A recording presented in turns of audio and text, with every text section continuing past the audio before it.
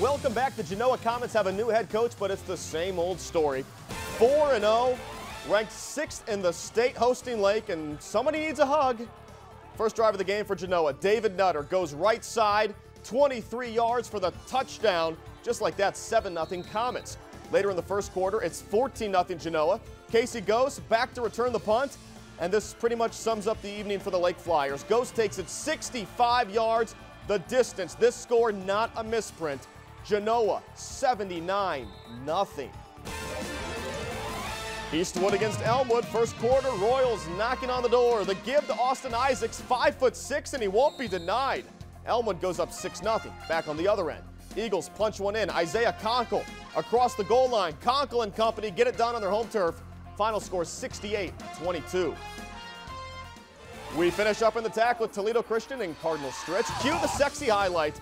Josh Winsler quarterback sneak. It's the equivalent of the sack fly when you're doing baseball highlights. Still, it's a touchdown. There's the signal. Then in the third quarter, rain coming down. Tevin Williams, Wildcat around the left side. No problem to the end zone. TC wins 41 13. And that is Dave White Chevrolet Football Friday. One note Tigers rained out, doubleheader on Sunday. Good news White Sox trailing right now to the Angels.